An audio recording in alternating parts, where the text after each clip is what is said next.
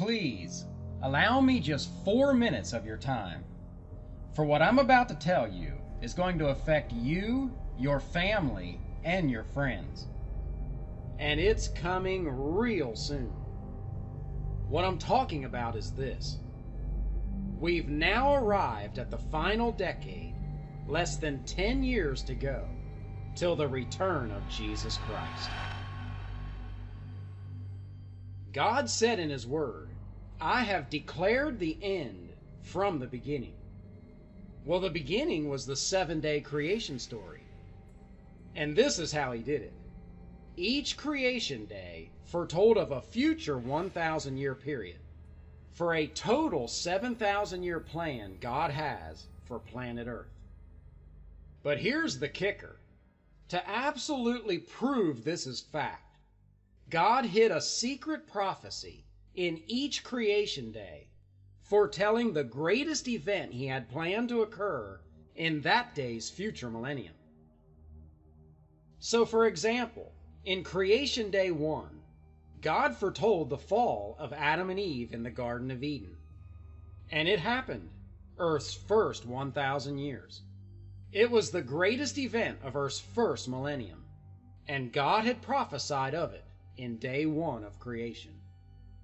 In day two of creation, God foretold the global flood of Noah's day.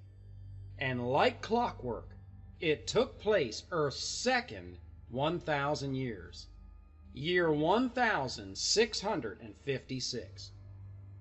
The story of Noah, the ark, and the flood was itself a prophecy, foretelling what's going to happen on earth the day of Christ's return. So the global flood was by far the biggest event of Earth's second millennium, and God had prophesied of it in day two of creation. And the prophecies continue with each creation day, each being fulfilled in its future millennium.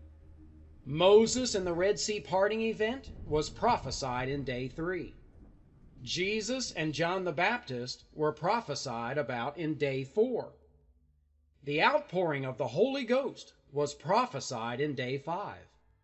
The Antichrist was prophesied in day six. And Christ's 1,000 year kingdom reign on earth was prophesied in day seven.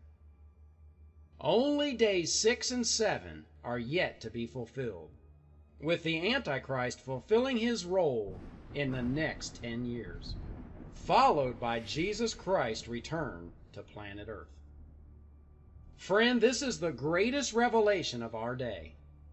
This is the knowledge the world needs to hear to settle it once and for all. The Bible is real. God is real. Heaven and hell are real. And we will all stand in front of God one day and be judged for how we lived on this earth. So, this information and much more is now available for free in a 10 part video series linked below. Listen to me. Nothing could be more important to you, your family, and your friends than learning God's plan for this earth and the time of the end. This way you can prepare for what's about to happen. May God bless you with ears to hear.